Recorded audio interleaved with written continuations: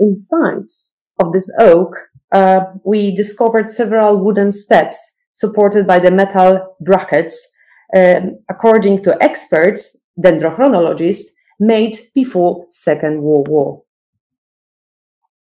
As for the brothers and their name, we were sure from the beginning, out of our work with the anthropologist Alexandra Janus, that Hymi, the name Hymi, could not have been their real name.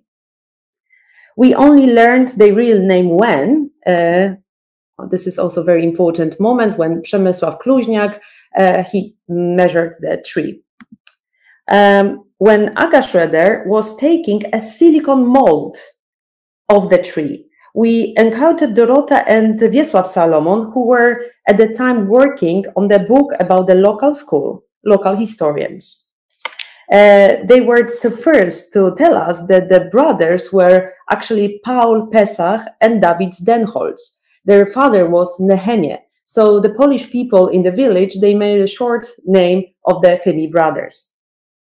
Soon after, we managed to contact the daughters living in New York, Mania uh, Berenholz and Helen Schwartz.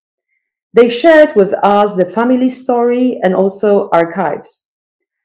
For uh, David and as well for Paul Denholz, who came from the nearby Freystadt, that was probably one of many hiding places.